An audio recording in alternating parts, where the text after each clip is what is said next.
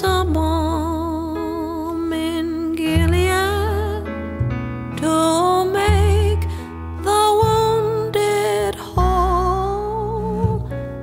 There is a balm in Gilead to heal the sin sick soul. Sometimes I feel discouraged.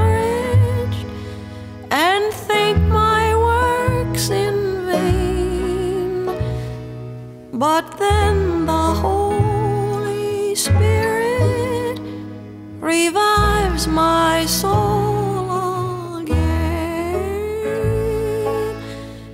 There is a balm in Gilead to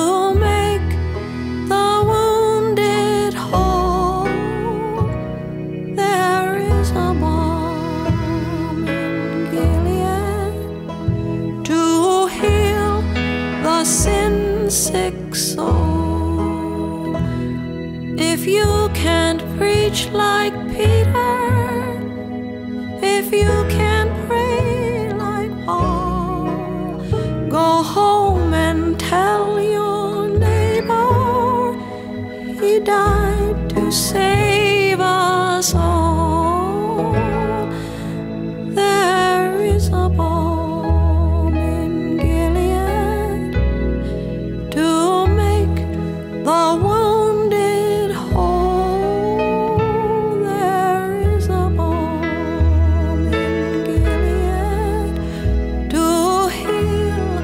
The sin sick soul.